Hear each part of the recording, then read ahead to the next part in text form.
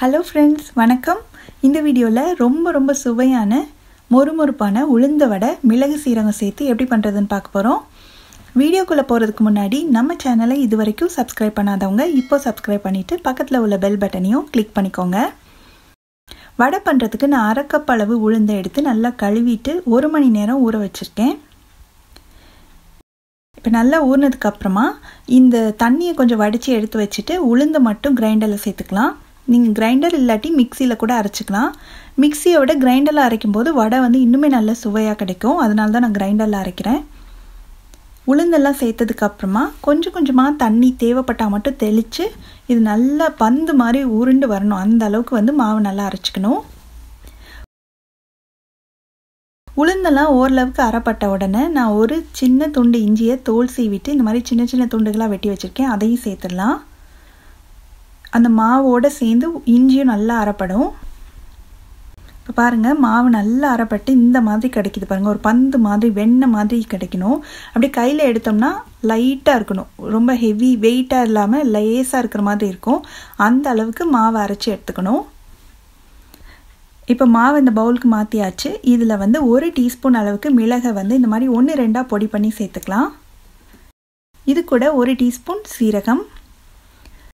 கொஞ்சமாக கருவேப்பிலை ஒரு பிஞ்ச் அளவுக்கு பெருங்காயத்தூள் இதுக்கு தேவையான அளவு உப்பு.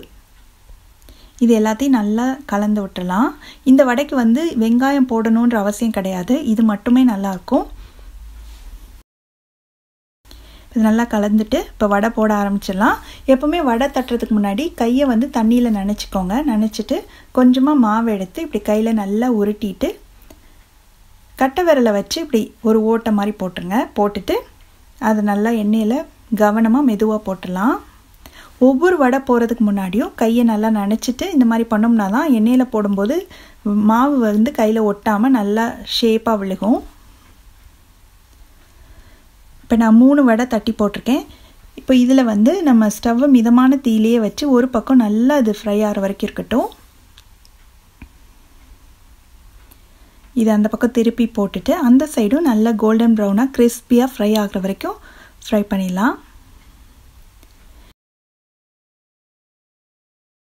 இப்போ ரெண்டு பக்கமுமே நல்லா மொறு மொறுன்னு வந்துடுச்சு. இப்போ எண்ணெயை வடிச்சிட்டு இதை எடுத்து வச்சிடலாம். இதே மாதிரி நம்ம மீதி உள்ள மாவையும் இந்த மாதிரி வடையாக தட்டி தட்டி போட்டு எடுத்துடலாம். அவ்வளோதான் பாருங்கள் எவ்வளோ கிறிஸ்பியாக உள்ளே அவ்வளோ சாஃப்டாக இருக்குது. ரொம்ப ரொம்ப டேஸ்ட்டாகவும் இருக்கும். நீங்களும் இந்த மிளகு சீரக மெதுவடையை கண்டிப்பாக வீட்டில் ட்ரை பண்ணி பார்த்துட்டு எப்படி வந்ததுன்ற கமெண்ட்ஸை மறக்காமல் ஷேர் பண்ணுங்கள் தேங்க்ஸ் ஃபார் வாட்சிங்